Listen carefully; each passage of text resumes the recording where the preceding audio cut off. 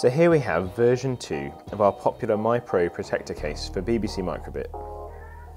It has been adapted to support both the original micro:bit as well as the new micro:bit version 2. This is the standard version of our Mi:Pro protector case, which you can see here. It can be used with a battery pack, which can be mounted on the back. And we also have a wall mountable version, which you can see here.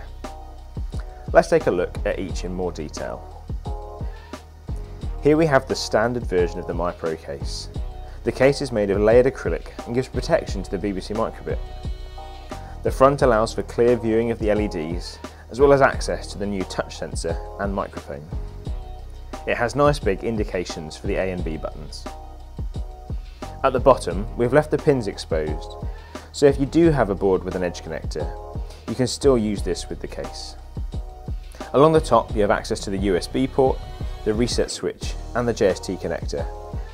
A space has been left to accommodate the new polyphonic speaker too. The Mi:Pro case allows this battery holder to be mounted onto the back of the case. It is secured into position and gives one nice, easy to handle unit.